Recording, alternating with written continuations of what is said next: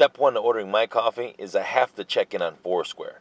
It's nice to know that I'm still the mayor. 16 check ins in the past two months. Mayor of uh, Dunkin' Donuts. Cool. 28801 South Kedzie. Now, let's actually go order the coffee and see what they say.